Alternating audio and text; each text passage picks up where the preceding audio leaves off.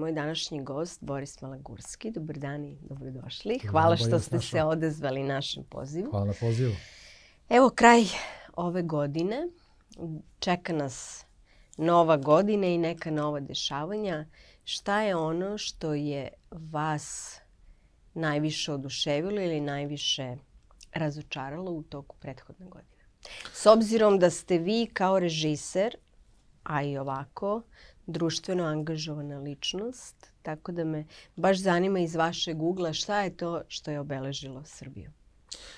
Pa e, ja moram da priznam, ništa posebno me nije razočaralo, ovaj, zato što se zaista trudim da budem nekako realan u nekim svojim procenama i ne volim da se fokusiram na negativno. Mhm. Pogotovo kada sad i treba da nekako budemo svi dobrog raspoloženja, da se fokusiramo na sve ono što je valjalo, a ono što nije valjalo nekako uvek gledam da treba da promenimo na bolje. Ali ono što je mene najviše oduševilo svakog jeste ova pobuna protiv Rio Tinta i ove veličanstvene blokade koje su pokazale da narod ima moć. I bez obzira što e, nije sve promenjeno i nije pobeda konačna i tako dalje, ipak je pobeda svojevrsna i mislim da treba biti realan i sagledavati borbu kao nešto što je trajno, nešto što na čemu uvek treba da se radi i kada se Rio Tinto, Bože zdravlja, otera jednog dana, bit će i drugi zagađivača sa kojima treba da se obračunamo i da učinimo da ili prestanu da zagađuju ili da odlaze. E, tako da, e, da kažemo, uvek će da bude tih pritisaka, uvek će da bude borbe i za zdraviju životnu sredinu i za pravednije društvo, ali je stvarno fenomenalno što smo uspeli za one dve stvari koje smo tada tražili, da se e, povuku zakon o ekspropriaciji, izmene zakona o referendumu, to je učinjeno uh -huh. uh, i to je pobeda. I to je ono što je mene apsolutno oduševilo, što ne znači da sad kao što su neki posle pisali pa šta sad znači, ništa nije gotovo, pa naravno tačno ni, ništa nije gotovo. Da. Apsolutno, nikad neće biti gotovo. To je malo onako naivno verovati da će postojati jedan protest ili jedna borba koja će da završi borbu za sva vremena i svi će lepo srećno da žive, mm -hmm. sve će biti u redu. Tako da, a to istovremeno ne znači da ne možemo da se radujemo i malim pobedama i malo većim pobedama i konačnim pobedama po pitanju neke konkretne priče na kraju krajeva i sutra da Rio Tinto oteramo, možda oni probaju da se vrate pe, pet godina, pa ponovo moramo da dižemo bunu i tako dalje. Tako da nikada, hoću da kažem, nije gotova borba.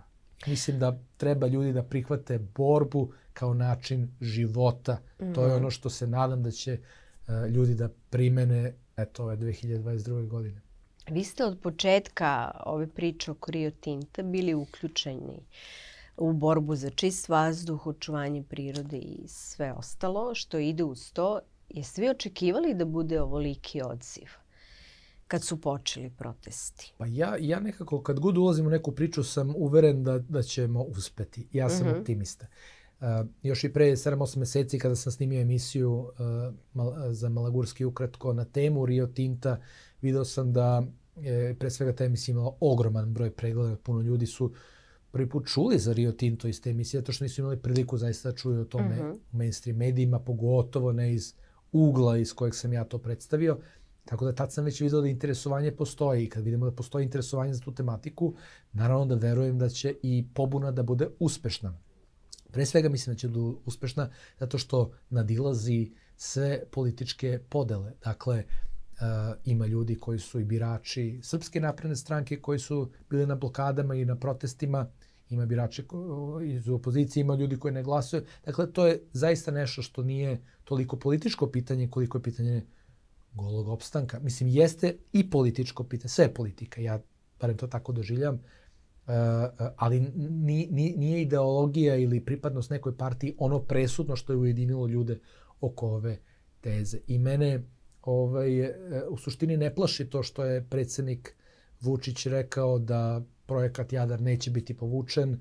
Mene to uopšte ne plaši. Ja znam da tog, od tog projekta neće biti ništa. Ja sam duboko uveren u to I zaista sama činjenica da je narod spreman uh, da, da potpuno blokira Srbiju da bi naterao predsednika da povuče neku konkretnu meru, pokazuje da ne samo blokadama saobraćajnica, već raznim drugim vidovima bunta možemo da nateramo i ovu, pa i neku buduću vlast da radi ono što narod od, od, od te vlasti zahteva.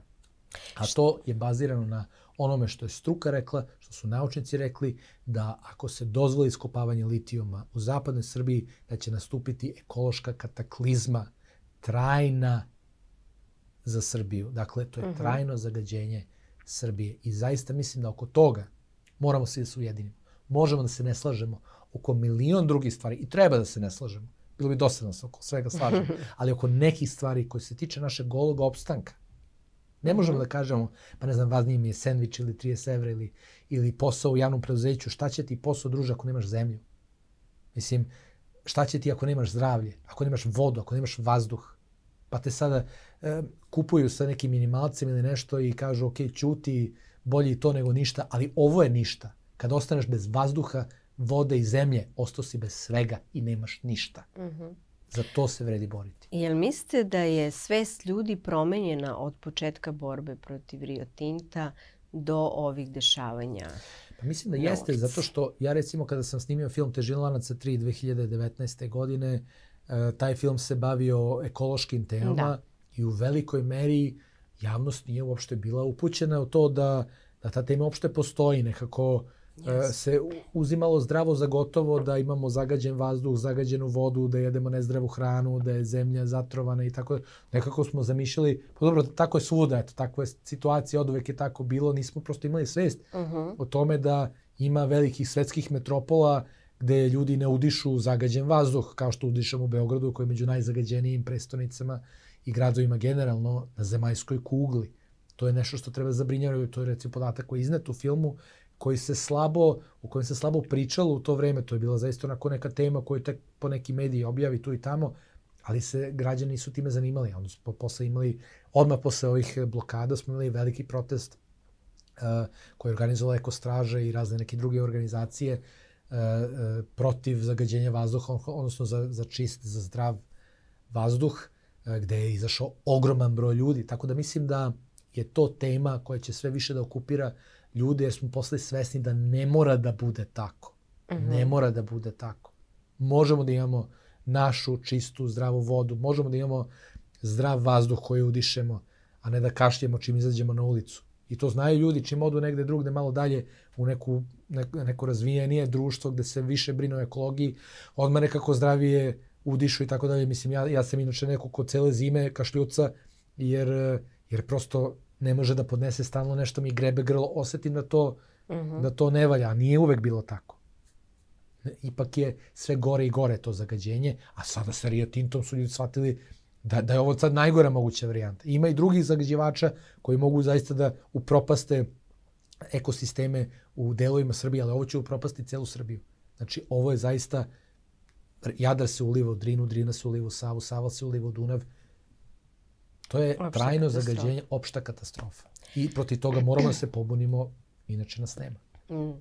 Hajde da se vratimo na vašu izvornu delatnost, znači na filmove, na režiju. Mm.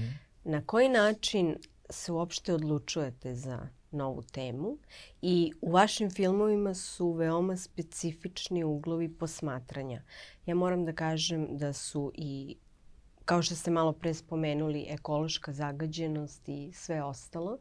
Negde možda od momenta uh, tog filma počelo u stvari ozbiljnije da se koncipira u javnosti prvo polako, pa onda sve više i više. Moramo naglasimo da i danas su redki mediji i to su uglavnom mediji koji su na YouTube-u koji se bave ovim temama i sve više o tome govore, ali je javna scena i dalje pod velikom blokadom što se tiče ovih tema.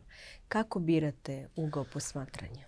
U suštini, e, tema ima mnogo i meni uvek jako teško da se odlučim za neku temu, ima puno bitnih tema o kojima se nedovoljno priča u javnosti i nedovoljno analizira. Zato mi je žao što nemaš i priliku da kroz neku emisiju se pozabavim tim temama uh, kao što sam to radio na slobodnoj televiziji koja nažalost nema, bar ne u tom formatu u kojem je postojala, uh, što nije do mene, ali šta se radi tako je kako je ovaj, prosto rečeno, uh, tada sam imao mogućnost da se velikim spektrom, da kažemo, tema pozabavimo, ne toliko dubinski kao što to radimo kroz film, ali makar da zagolicamo interesovanje javnosti i da, da se ljudi makar malo dublje pozabave to tematikom. E, što se tiče filmova, pokušavam da izaberem neke teme koje smatramo da možemo sveobuhvatno da obradimo i koje smatramo da su od egzistencijalnog značaja, koje su znač, od značaja za veliki broj ljudi, bilo da se radi o njihovom e, fizičkom opstanku ili duhovnom opstanku ili bilo kojem drugom, kao što smo radili film Crna Gora podeljena zemlja, da.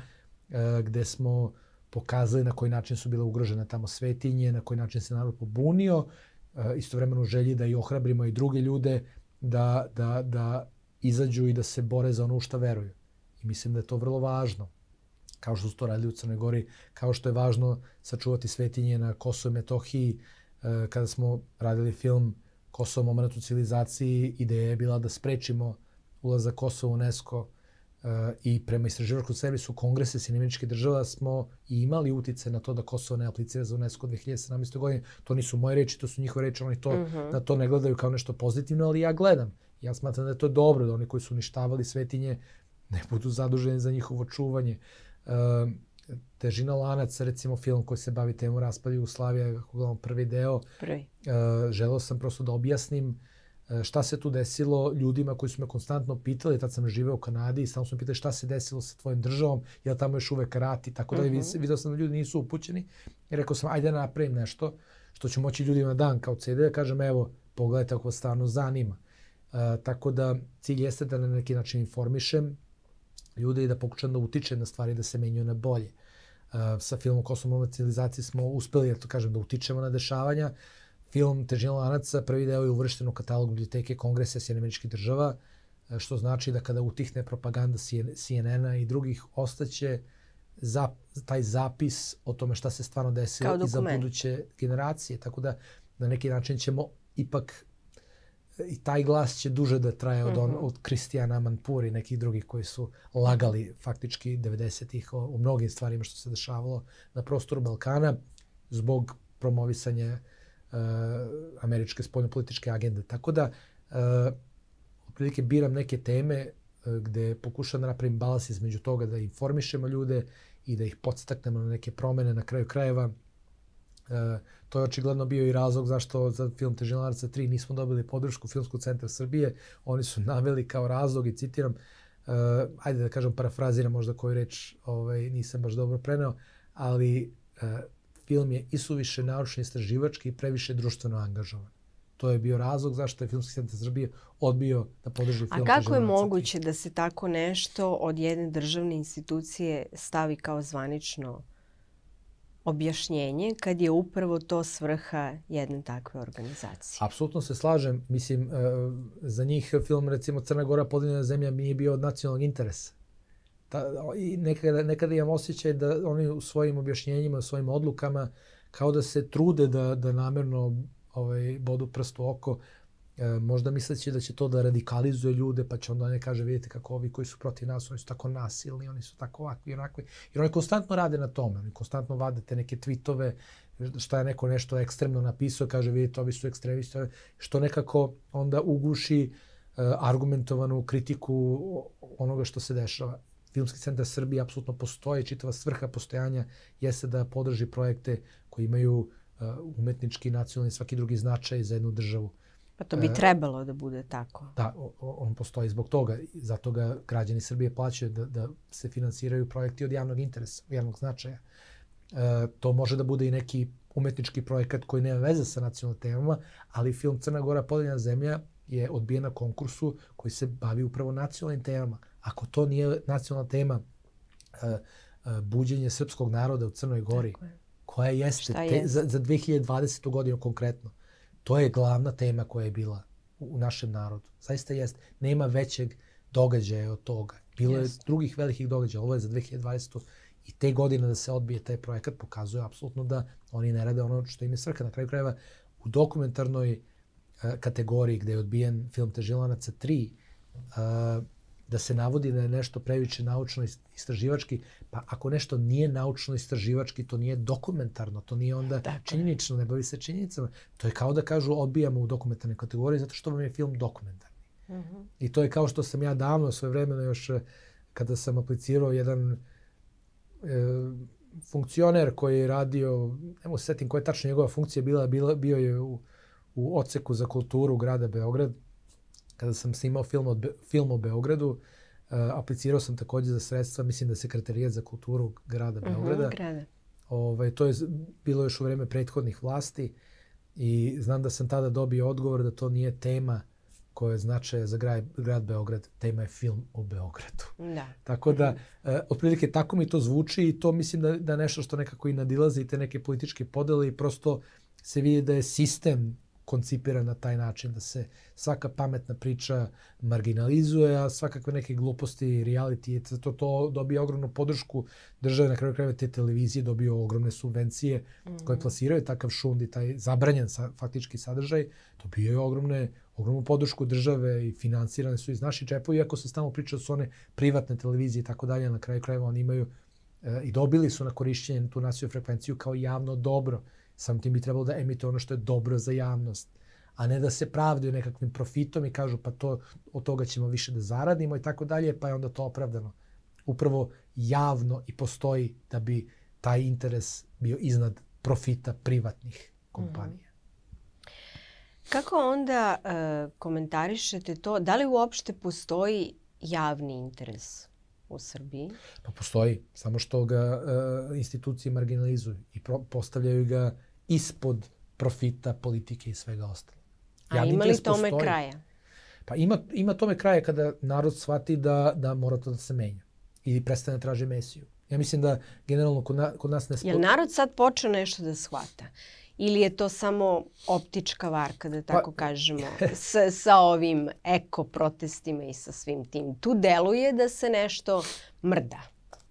Pa ja, ja jesam optimista, uvek verujem da, da, da, da idemo o, o, ka, ka većem stepenu svesti, ali sad pitanje je da li su oni počeli da shvataju da moraju da se bune i, i, i da li su shvatili da e, koncept demokratije podrazumeva da neće neko doći da nam reši sve naše probleme. Dakle, zamena jednog autoritarnog sistema ili autoritarnog Drugi. vođe s drugim nije rešenje. Mm -hmm. Mi smo mhm. to pokušavali ranije mi nekako stalno kada je bio ovaj Milošević, su ljudi traže nekog da je spasi, pa se pojavio Vojislav Koštunica, pa su rekli jao, Koštunica će da spasi, pa jao, pa Tadić će da nas spasi, jao, pa Tomislav Nikolić će da nas spasi, jao, pa Aleksandar Vučić će da nas spasi. I stalno ljudi nekako traže tu mesiju i sad su... A postoji sad neki Mesija. Pa, ne postoji nikad, kao što niko od njih nije bio uh mhm. -huh. Mesija, tako ni dan danas ne postoji Mesija, niti će ikada postojati Mesija. To, to je bajka koja ljudi treba da se odreknu. Postoje jake institucije postoji sistem koji radi u korist čoveka i koji gleda kako da unapredi tom čoveku život svakodnevno i postoje a, a, ovaj političari koji treba da sprovode narodnu volju i meni se ja, mnogo više sviđa reč administracija nego reč vlast. I uh -huh. mislim da oni jesu a, tu službenici, korenu reči službenike služiti. Oni treba da služe nama. I njihova uloga nije da lupaju šakom o sto i kažu to će biti ovako, nego da kažu, ok, analizirali smo šta kaže struka, analizirali smo e, šta kaže narod koji je blagovremeno i tačno informisan o svemu i mi ćemo da sprovodimo demokratsku volju naroda e, bazirajući tu svoju snagu na jakim institucijama. To se sad trenutno ne radi. Oni se, stalno se radi na tome da se bazira sve na čoveku.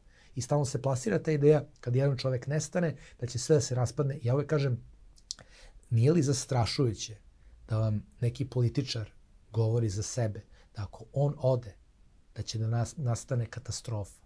Zato što svi mi smo smrtnici i ne daj Bože, može stvarno nekome nešto u zdravstvenom smislu da se desi da više ne, bolje, ne može da obavlja tu funkciju. I šta ćemo mi? Šta ceo narod će da nestane zato što je jedan čovek otišao?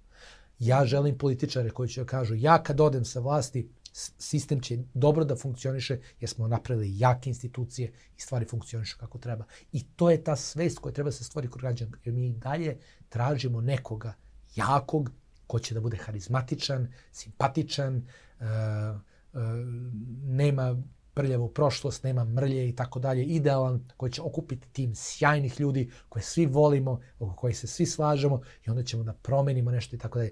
To ne postoji. Čak i da postoji, vremenom to počne da truli, vlast korumpira, apsolutno vlast korumpira, apsolutno.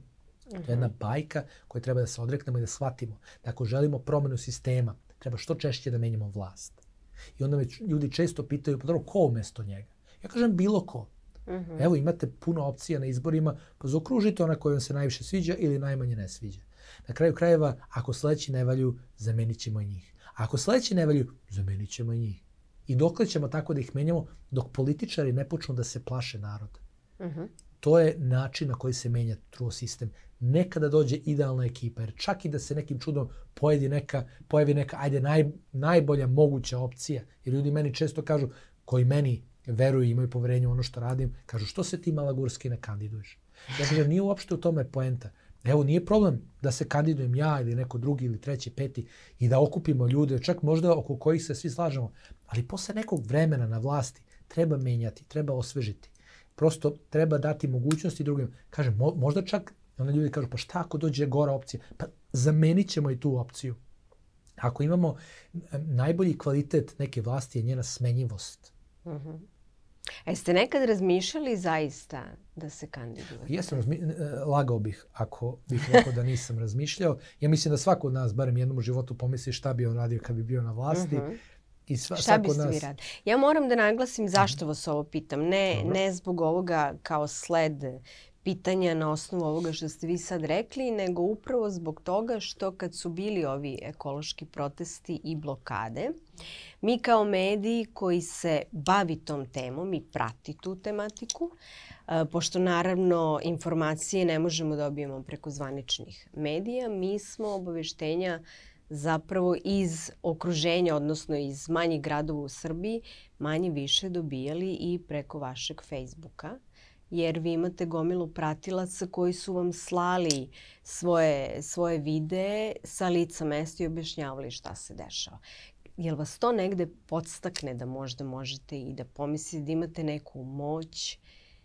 Kako se u stvari čovek brani kada, kada ima tu neku masu iza sebe koja to je uvek mač sa dve oštrice. Kako se brani od toga da ga, da ga želja za vlašću, odnosno za moći, ne savlada i odvede na neku drugu stranu.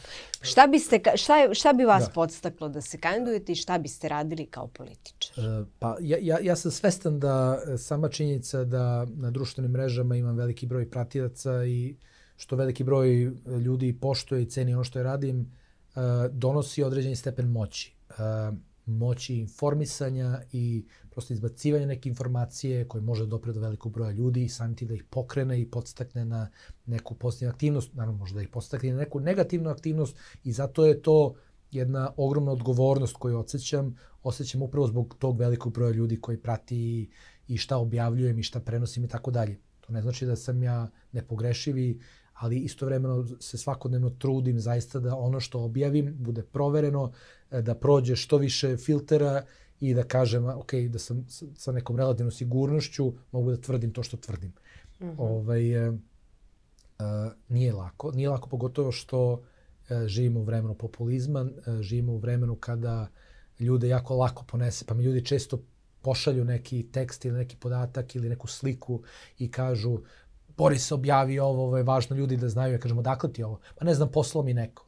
Ja kažem, pa dobro, ali koji je izvor ovoga? Šta je, šta, šta ovde gledam, šta čitam? Mhm. -huh. ne, nije da vede nikakav izvor. Pa ne znam, ti to istraži. Čekaj, čekaj, znači, hoćeš da istražim ili hoćeš da objavim? Znači, ne mogu ja tek tako da objavim nešto što ti si prošli, ti si odmah tome poverovao i odmah hoćeš to što više da se proširi. E sad, ima ljudi koji, nažalost, isto imaju veliki broj pratilaca, koji će to uzeti i odmah objaviti. Uh mhm. -huh. Bez razmišljenja. Pa dobro, možda će posle nekog vremena da shvate da to nije tačno pa će izbriše, ali to će već da dopre do velikog broja ljudi. A, i, i, I to je onaj manjak odgovornosti koje nažalost mnogi imaju na društvenim mrežama, jer te e, društvene mreže čoveka nekako ponesu i nekako u nekom trenutku možda o, osete da nije toliko važno da li nešto tačno ili nije, jer ako ima puno lajkova, onda je sve okej. Okay, tako? Mm -hmm. Ako puno ljudi to videlo, šerovalo, e, komentarisalo, to je onda okej. Okay. A tu su malo krivi i algoritmi Facebooka koji, uh, uh, ne samo Facebook, nego i drugi društvene mreža, koji uh, dodatno uh, propagiraju objave koje dodatno polarizuju ljude, koje su onako ekstremnije, jer kada se napravi neka objava koja je onako objektivno umerena, ja kažem, evo, sagledali smo ovo iz svih uglova, uh -huh. došli smo do ovog zaključka, evo ovaj dokaz, evo onaj dokaz, to bi moralo dosta da se čita i to je malo dosadno, jel tako? I to neće mnogo ljudi da lajkuje, neće mnogo da, da komentariše, samim tim neće toliko vremena provesti na Facebooku. A Facebooku je interesu da što više vremena provedemo na Facebooku. Što mm -hmm. duže, što duže i što više da kuckamo i da komentarišemo, a to će da učine ovi komentari koji su ekstremni, koji dele ljude. Zato po meni imamo toliko podela u društvu, što apsolutno ti algoritmi su nas naterali da i razmišljamo kako da ovo upakujemo, da bude što onako dane kao što su nekada novinski naslovi uh, ovaj, u jednom trenutku shvatili da moraju da budu onako provokativni, nećete verovati šta se desilo, a onda se desilo ovo što niko nije očekivao, foto, video, znači uh, to je nekako s tim je počelo i sada se to uh, proširilo mm -hmm. u, u sve živo i sve te i statuse i objave koje se nekako je stalno cilj kako da se to marketinški upakuje i uklopi u te algoritme da bi dovoljno ljud, broj ljudi to videlo. Ja ne kažem da uh, objave ne treba da budu zanimljive. Ne, ne kažem da ni filmovi na kraju krajeva na kojim radim ljudi kažu jao, baš je zanimljivo. Ok, treba da bude to i zabavno i zanimljivo i nemam ništa protiv, ali problem je u tome kada od svega počnemo da pravimo senzaciju, onda se nekako izgubi u nekom momentu suština. I zato se ja trudim da u svemu što radim pravim balans između toga da bude nešto i zabavno i zanimljivo za pročitati, jer moramo malo da se i takmičimo u današnje vreme mm -hmm. za pažnju, a istovremeno da ne pravim ni po koju cenu kompromis po pitanju tačnosti onoga što se objavljuje. A što se tiče mog ulaska u politiku, e, kažem, jesam razmišljao o tome, e, ne mislim da je to nešto što, u što bi želeo da ulazim u ovom trenutku, zato što ne mislim da je moj značaj na društveno-političkoj sceni uh, taj da bi se nešto posebno doprinelo time što bih ja ušao u politiku. Uh, mislim da je moj značaj mnogo veći upravo u ovome što sada trenutno radimo, to je informisanje javnosti, buđenje te neke svesti. Na kraju krajeva, uh, ja uporno govorim ljudima da nije toliko važno ko uđe u politiku. Ako bih ušao u politiku, uh, onda, onda bih ja na neki način promenio priču. U smislu, ako je truo sistem i nemamo izgrađene institucije, mi nismo još došli do toga da mi odlučujemo ko nam se više sviđa. Nije ovo Skandinavija, pa sad imamo, ne znam, tri, četiri partije, pa kažemo ovaj mi se više sviđa zbog ovog programa, ovaj mi se više mhm. sviđa zbog ove tačke u programu, ovaj mi je možda bolji. Sad mi da sedimo i sad da pričamo da nam se više sviđa, ne znam, Đilas, Jeremić, Vučić, Dačić, Boško Obradović, Saša Dulović, pa koji je njihov program, pa da, Jeremić ima ovo program, ali nema ovo drugo. I sad mi da pričamo o tome, mi smo daleko od toga mi nemamo mogućnost uopšte da čujemo te ljude na nacionalnim frekvencijama, mm -hmm. uh, mislim ove iz opozicije. Mi nemamo uopšte mogućnost da budemo blagovremeno informisani o referendumu koji se održava, to je potpuno, u potpunom mraku. Znači, apsolutno, ljudi ne znaju zašto glasaju. Republička izborna komisija im šalje uh, uh, ovaj dokument u kojem podržava glasanje da na referendumu. Ja kažem ljudima, glasajte ne. Evo, ne morate ne se odubljujete pretarano u tu, ali sama činjenica, vi nemate mogućnost da saznate o čemu se ovde radi, nemate medije, nemate ništa. Suprotstavite se tom sistemu, glasajte ne. Ja kažem ljudi, izađite na referendum, glasajte ne. To govorimo o referendumu 16. 16. januara, apsolutno. Mm -hmm. Ja mislim da je važno glasati ne. Znači, mi nemamo apsolutno mogućnost da, i, i isto, isto to preporučujemo onda i na izborima. Ako mm -hmm. se ovo ne sviđa, ako mislite da, da ne valja ovaj sistem, promenite vlast promenite, ali nemojte da se optrećujete da li ovakav. Tek kada se uspostavi taj neki mehanizam brzog menjanja da, da političari moraju da obraćaju pažnju šta mi nemamo, da su nam omogućili slobodne i jake institucije, uh, otvorene medije koji mogu svemu da izveštavaju, e pa onda kada možemo da budemo blagovremeno, tačno, potpuno informisani, o svemu što se dešava, onda možemo da pričamo o nijansama. Ovo nam se više sviđa, ovo mi se više sviđa. A evo, vlast nije loša, radi dobro, ajde ostavimo ih sada na vlasti. Ili da kažemo, e, možda je bolje da ovi iz opozicije dođu i da imaju veći uticaj u sledećoj nekoj vlasti. Tako. Onda možemo da pričamo te priče. Mm -hmm. Mi se sada igramo demokratije koju nemamo. Znači, u ovom trenutku je sada bitno samo da se uspostavi neki kakav takav sistem, da se otvore medije. Znači, mislim, to je kao da, da, da u, u, u Čileu Augusto Pinochea pričamo o tome uh, kakva je opozicija dok tamo batine ljude. Pritom u fašističkom Čileu 88. godine kada je održavan referendum su građani imali priliku da čuju opciju i za i protiv po 15 minuta na svim televizijama. To mi danas nemamo u nazovi demokratskoj Srbiji, ono što su imali u fašističkom uh, Čileu Augusto Pinochea. Tako da sada sva ta neka rasprava o tome i ljudi me pitaju, e, brate, za koga da glasa? Ja kažem, ti se sviđa ovaj sistem. Ako ti se sviđa, glasaj za sistem, ne ništa protiv. Glasaj za Rio Tinto, glasaj za sve to. Pa sad jednog dana, nemoj da kukaš posle kad ti ode zdravlje, ostaneš bez vazduha, vode i zemlje. Nemoj da kukaš, nema kukanja. Ja znam da mi u Srbiji volimo da kukamo. Ovo da kažem da je kukanje olimpijska disciplina, mi Srbiji bismo osvojili srebro, da bismo kukali što bismo osvojili zlato. Tako da verujem da uh, ima puno ljudi koji bi bili uh, vrhunski u, u kukanju i tako da, ali to, znači ako ti se nešto ne sviđa, menje. Mm. A nema da kažeš, ja da li za koga, pa šta, da se žuti vrate. Čekaj, kako se, misliš da se vrate? Ja to kažem ljudima. Pa više ima žutih u sadašnjoj vlasti nego što ih ostalo u demokratskoj stranci. Kako misliš da se vrate?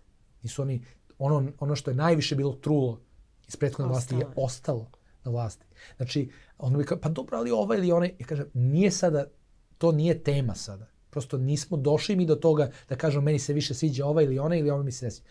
Znači, mi tek dolazimo do toga da treba da ih izmenjamo nekoliko puta. Argentinci su to briljantno radili za dve nelje. Oni su za dve nelje rešili, ovaj, smenili pet predsednika. Pet predsednika su promenili za dve nelje. 2001. godine kad je bila velika ekonomska kriza, rekli su, da. ne, znamo šta hoćemo, znamo šta nećemo. Dolazili su predsednici i nudili neka svoja alternativna rešenja koje su nisu bile u skladu sa onim što je narod hteo, to je da MMF ode. I prosto kad je došao peti Nestor Kišner, on je rekao, pa ja ako budem radio isto što su ove četvorice pre mene, i ja ću da letim. I on je krenuo sprovodi mere koje su dovele do ozdravljenja ekonomije Argentine. Ja, su jako brzo. Oni su to da. uradili za dve nedelje. Mi to ne moramo da uradimo baš za dve nedelje, ali hajde makar u roku od nekoliko godina, ili evo, imali smo već imamo 22 godine iskustva sa nekim pokušajima demokratije i tako dalje, pa možemo da kažemo i pre toga kad su bili izbori 90-ih i tako dalje, nisu se mnogo razlikovali da oni danas čak bi neko mogao da kaže ove, i da je tada bilo više medijskih sloboda nego što to postoji danas i da je bila manja polarizacija društva nego što postoji danas, bez obzira i na sankcije, na ratove i na užasne stvari koje su se dešavale. Tako da, Mi tek treba da dođemo do toga. Mm. Ali zato mislim da je moja uloga prvenstveno da pokušam da pokažem ljudima da ne mora da bude ovako, da može da bude drugačije, da može, da možemo da živimo i zdravije, da možemo da imamo i pravedniji sistem, da možemo da imamo društvo u kojem nije potrebna partijska knjižica ili ili e, veza da bi ostvarili svoj ljudski maksimum na poslu ili u porodici ili šta god. Znači, ne mora da bude ovako. Mm -hmm. Apsolutno ne mora. Kogod kaže uvek je bilo ovako, uvek će biti, taj radi u korist sistema. Kogod kaže, ma svi su isti, taj radi u korist sistema. Znači to su mantre koje se plasiraju na ljude da bi ih demoralisali, da bi ih uplašili, da bi ih uh, pacifikovali. I zato je važno što smo uspeli da nateramo vas da povuče dva zakona. Jer samo č... koliko god to možda sad delovalo malo, tek će da bude velikih pobjeda. Ali četiri dana pre nego što su povučeni ti zakoni, je Aleksandar Vučić govorio da nema šansa da ih povuče. Da. Znači, dokazali smo da imamo moć. I zato ne verujte onima koji prema, nema od toga ni. Samo kao ono kad radio šusti sam šš, mm -hmm. isključite i nemojte da slušate. Verujte u sebe, verujte u ljude koji kapiraju priču i nemojte da se opterećuju. Meni stalno šalju ljudi poruke, kažem, evo ja pričam ubila sam se da, da, da se ubedim sa drugaricama. E, njima je izlazak na protest nešto najstrašnije, e, nemaju živaca za to, ne veruju da nešto može da se promeni. Evo baš nedavno mi jedna Jovana poslala jednu poruku, e, kaže ovaj, ne zna kako da, da, da izađe na kraj sa ljudima koji neće da se bore i tako dalje i tako dalje. Ja kažem, nemoj uopšte da se baviš njima. Ja uvek kažem, zamislite se na Titaniku, i da imate svest u tome da će brod da potone, a vi umete da pravite čas za spasavanje. Znate koji je izlaz. Ako se vi popnete neko uzvišenje i kažete ljudi, Titanic će da potone, daj da pravimo čas da se spasimo, nećete tri vrste ljudi. Prva vrsta će ljudi kaže nemoguće, Titanic ne može da potone. Druga vrsta ljudi će kaže onako pogubljeno skroz šta, kako, gde, znači zbunjeni, ne znam šta, šta da veruju, kome da veruju šta. I treća vrsta ljudi će kažu pravu si, vidimo ogromnu rupu na brodu, ajde da gradimo čance da se spašavamo. Ako yes. se bavimo ove dve grupe ljudi i nerviramo se zbog njih, brod će da potone. Mm -hmm. Nemamo vremena, moramo se udružimo sa trećom grupom i da izgradimo mehanizme za spasavanje, ne samo nas, nego i drugih. A ove dve grupe ljude kad skapiraju, a skapiraće kad krene da im voda stiže do kolena i tako dalje, skapiraće kad tad, onda će oni svi da dođu na našu stranu i onda ćemo imati kritičnu masu da stvarno nešto promenimo. A do tada, Ne možemo da čekamo i da se nerviramo i kažemo ja neću na protest jer komšija ne ide. Jer Mhm. moje društvo ne ide. Ti idi, brate, na protest. Ako kapiraš, idi na protest, buni se, bori se. Možda te roditelji ne razumeju, možda te društvo ne kapira, ali ako ti veruješ u to, ti se bori. Jer ima i drugih, možda ih ne poznaješ još, a upoznaćeš ih. Povezujte se, gradite otpor, gradite bunt. To je, to je važno da ljudi shvate tako se gradi demokratija. Kad se kreće u taj bunt i kada on postane jedna ozbiljna masa, kao što je ovoga puta, em, dolazi do raznih pokušaja potkupljivanja. Jesu vas probali da vrbuju, iako jesu, ko jeste i zbog čega? E, jesu. I ne bih e, ništa više od toga pričao. E, ne pristajem na bilo kakve nepristojne ponude. To Šta kažete na nepristojnu ponudu? Ne. Ne hvala ili se malo udubite u to? E, svaku nepristojnu ponudu odbijam. Znači svaka ponuda koja se kosi sa mojim uverenjima zarad nekakve finansijske ili bilo kakve druge dobiti za mene je potpuno neprihvatljiva. Ajde još da se dotaknemo, to sam žela da vas pitam, vezano za film Crna Gora podeljena zemlja. Ona je imala premijeru i ovdje u Americi. Da mi napravite paralelu između te dve premijere. Kako se kod Ovde nas... u Americi? Da. a? Pa ovde, ovde se mnogo više prikazivalo nego tamo, pošto nam vlada već interesovanje za, za tu tematiku, jer nam je pro- prosto bliža tema. Film se prikazivao u bioskopima, u Cineplex, Cinestar i drugim nekim, da kažemo, nezavisnim ovaj, bioskopima širom Srbije. U, u jednom trenutku je to bio drugi najgledaniji film u Srbiji, a najgledaniji dokumentarac svakako. E, mi smo zaista potukli rekorde e, o, konkretno evo, u Ušću u Cineplexu se prikazivao sedam nedelja, što je zaista fenomenalno i za dokumentarni film je to ogroman, Da. ogroman uspeh. Ja sam jako ponosan na svoj filmski tim pre svega i na Miloša Ninkovića, scenaristu Mladena Jankovića, direktora fotografije, Aleksandra Savića, montažera i ovaj, animatora, Stefana Popovića, naravno voditelja i sve drugi da ne nabrajam, zaista hvala im svima koji su, što su uradili fenomenalan posao oko ovog filma i svima koji su naravno pomogli da se i vesti o filmu proširi i koji su došli naravno da gledaju film i time podržali naše buduće projekte. Uh, što se tiče razlike uh, između premijera u Srbiji i u Americi, uh, meni je cilj bio da ovaj film približim i stranoj publici, to je jedan razlog zašto je film na engleskom, i da pokušamo da kod njih probudimo i neku emotivnu reakciju. Mhm. Uh, o, ja mislim da smo u tome uspeli. Mislim da smo imali daleko emotivnije reakcije na našim prostorima, pre svega u Crnoj Gori. Mislim da je najemotivnije veče bilo na premijeri u Podgorici, u hramu. Uh, Je tu bilo i oprečnih reakcija? Pa ja, ja barem nisam za njih čuo uh, od ovih koji su videli film. Bilo je Mhm. obrečnih reakcija od onih koji nisu ni gledali film. Oni su protestovali, bunili se, što je meni vrhunac apsurda, zaista se bunim protiv nečega što nisam ni video. Ja recimo, uh, kad god izađe neki film, ovaj, da vidim da ga svi napadaju, ja uvek uzmem i pogledam ga prvo. Slučajno ne pisnem ni jednu reč o tom filmu pre nego što sam pogledao taj film a, a, ili makar pročitao neku malo, stru, malo dublju analizu i tako dalje, ali gledam da zaista ako kritikujem, to sam pogledao, znam šta kritikujem, znam šta navodim i nikada ni u ludilu ne bih protestovao protiv filma koji nisam vidio ili protiv knjige koju nisam pročitao ili šta god. Dakle, i da je to nešto najužasnije, pogledam, pročitam, pa onda komentarišem. U Crnoj Gori smo imali proteste protiv filma koji ljudi nisu gledali. Imali smo osude i zabrane tog filma od strane nekih određenih političara, tipa je neki poslanik jedne male neofašističke stranke koja se zove SDP, Ranka Krivokapića u Crnoj Gori, koja je zabranila premijeru filma u Tiftu.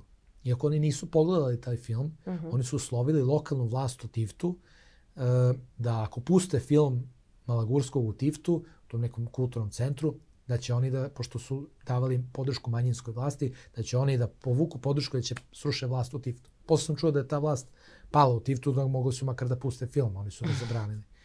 Ovaj, e, u Kotoru se e, gradonačelnik e, Jokić, mislim da se preziva, prestravio nekih tamo pretnji da će biti protesta ovo ono protiv filma i čovjek zabranio film. Ostao na stranu ekstremista. Rekao, mm -hmm. važnije mi je šta oni misle nego da kraju krajeva i njegovi birači i, i njegov narod, jer se on izjašnjava kao Srbin. Yeah. Tako da, te neke ružne reakcije i, i, i, i kukavičluk je dolazio uglavnom od onih ljudi koji nisu ni gledali film ili oni koji eto, ne veruju prosto da, da se za neke vrednosti i slobode izražavanja treba boriti. A, a oni koji su gledali film su imali pozitivne reakcije. Naravno, uvek ima tih reakcija i, i trebalo je ubaciti još i ovo, još i ono, ali dobro, sad to, na to sam već navikao, to je okej, okay, normalno, svako ima neku svoju ideju šta bi tu mhm. trebalo da čak i ja sam, i meni je žao što neke stvari nisu pomenute u filmu, ali ni, se trudim da svako radi svoj posao, ja sam režiser, nisam scenarista ovaj, na ovom filmu i ovaj i poštovao sam e, umetnički izraz Miloša Ninkovića koji radi na tom scenariju i mislim da je radio fenomenalan posao. E sad svako nas bi to uvek na svoj neki način, ali moramo negde da se složimo da treba svako da radi svoj posao i da, da poštujemo to. Tako da e, u Americi e, je bilo manje tih emotivnih reakcija, ali ih je bilo, uh -huh. što je meni jako značajno. I u svim gradovima su puštali bilo da je to Chicago, New Jersey, Boston, Miami, gde god. Znači, video sam da su ljudi u suzama gledali poslednje kadrove filma i da su izlazili iz bioskopa vidno potrešeni onim što su videli. Mislim, pre svega na Amerikance. Bilo je tu naravno dosta i naših ljudi, ali bilo je dosta i Amerikanaca i pripadnika drugih nacija koji žive u Americi i video sam da su osetili dušu tog filma, da su osetili dušu našeg naroda. To je ono što sam hteo da prenesem, uh -huh. ali to se treba prenositi na način na koji će oni da razumeju i na koji oni mogu da da to posle dalje i reprodukuju svojim prijateljima, svojim kolegama kada se pomene Crna Gora i kada se pomene srpski narod, da mogu da ispričaju šta se tu desilo. Znači da ne bude previše naširoko nadugačko, nego da bude jasno prezentovano na jedan modern način, na njihov način napravljeno, ali sa našom pričom. Jasno. Novi projekat, šta nas čeka u sledećoj godini?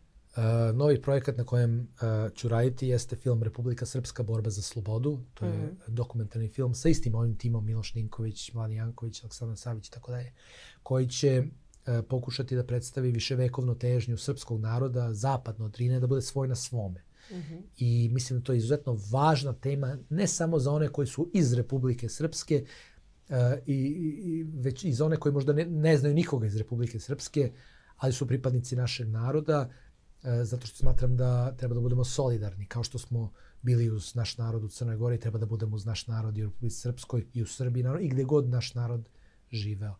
Ne može da neko prestane da bude pripadnik mog naroda samo zato što je prešao granicu. On je uvek moj prip, -hmm. pripadnik mog naroda. I o, ja ga tako doživljam. Jedan narod, uh, mi možemo da se ne slažemo oko politike i treba, ali oko nacionalnih interesa treba da budemo složni, po meni. Ovaj, uh, I u tom smislu zaista se nadam da će podrška tom projektu da bude široka, zato što uh, pored tog značaja za ljude iz Republike Srpske i za pripadnike celokupnog našeg naroda, postoji značaj i za širu civilizaciju, zato što je za svaki narod važno da ima slobodu da čuva svoju tradiciju, da čuva svoju veru, da čuva svoj jezik, da čuva svoj nacionalni identitet. To je ono što bi trebalo da se podrazumeva apsolutno svuda. Ne treba ni jedan narod etiketirati, ne treba ni jedan narod napadati, uništavati na bilo koji način. Svako ima pravo da bude slobodan i da bude svoj na svome. I u tom smislu mislim da je posebno sada važno uh, pridati pažnju našem narodu u Republici Srpskoj, jer je ugrožen, jer je sam, sama Republika Srpska kao izraz tog mm -hmm. naroda da bude svoj na svome ugrožena. I sada mislim da je pravi trenutak da se i domaćoj svetskoj javnosti predstavi ova važna priča, ne samo onome što se dešavalo 90-ih pa na ovamo, nego i vekovima unazad. Znači, ovo nije film koji će analizira samo stvaranje Republike Srpske, već i svih istorijskih okolnosti koji su doveli do toga i, i svih dešavanja koji su pokazali da srpski narod i kako ima razloga da bude uplašen za svoj opstanak, jer je on bio ugrožen puno puta kroz istoriju, ugrožen je do sada.